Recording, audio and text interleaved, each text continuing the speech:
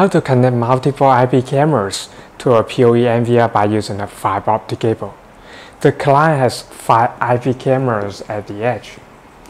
That's about 300 meters between those cameras and the PoE NVR. He knew he can use the PoE standards to repeat the PoE and connect all these cameras back to this PoE NVR by using the Cat5e Ethernet cables, but there's too many cables he doesn't want to deal with.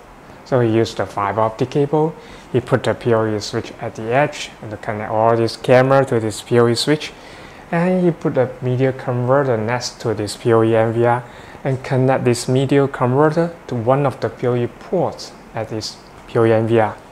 But he's met the issues he saw only one camera on the window. He cannot see the rest of the four cameras. So what's the problems? Now let's move to the demonstration board and stimulate this case and find the solution for this case. Before we get into the detail, I want to say we do have the free online courses. I've put the link below, it's completely free. The client has 5 IP cameras and I took 2 IP cameras to demonstrate. Those cameras are connected to this PoE switch.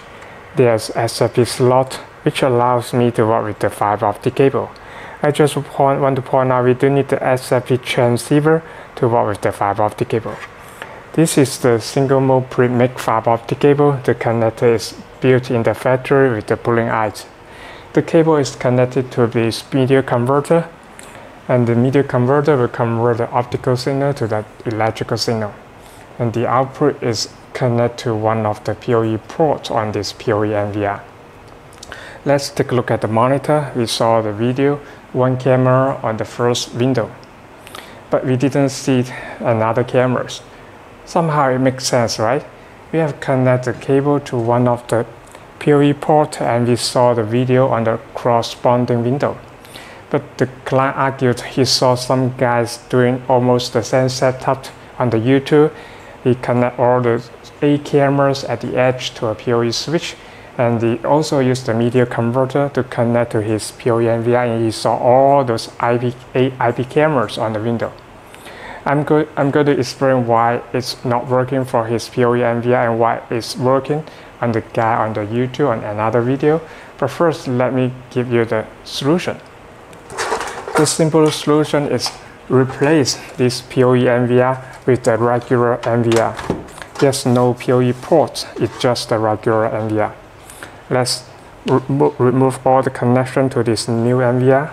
First, let's power it up and then use the HDMI cable to connect the output of this new NVR and also put the cable to connect it to this LAN ports. I know I'm supposed to use a switch or router and connect this cable to the router instead connect to this LAN port.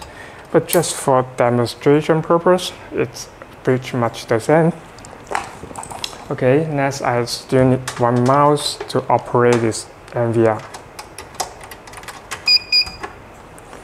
Let's right click and use the quick set and log in and cancel and click search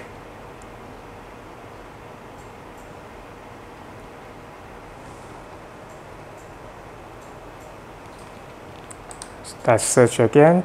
Now we do see two IP addresses. These two IP addresses belong to, to these two IP cameras. Let's click and hit add.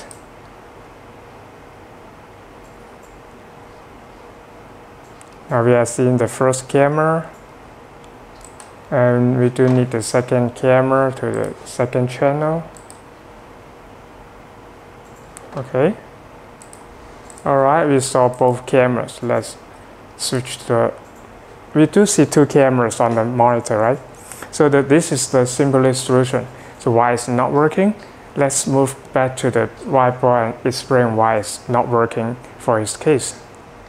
Why client setup doesn't work is because how the NVR is decided. I have two PoE NVRs. First, let's take a look at the design. The one on the right has just one motherboard, the PoE switch and the NVR are highly integrated. With this design, the NVR will detect the connection on the PoE switch and assign the IP address to this camera and establish the connection automatically. The design on the left has two motherboards. This is the PoE switch.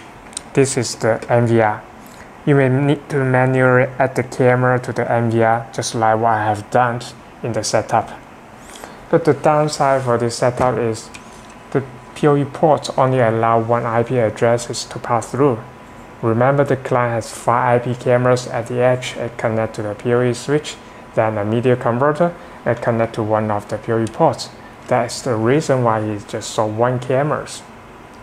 So the simplest solution is just like what we have done. We replace the PoE switch with this regular switch.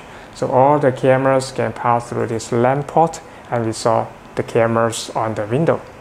But the client doesn't want to change his PoE switch. He still want to use the PoE NVR. He's thinking just add another switch at the edge and probably connect this Ethernet port to the PoE port on this PoE NVR. Will it work? We'll find out in the part 2.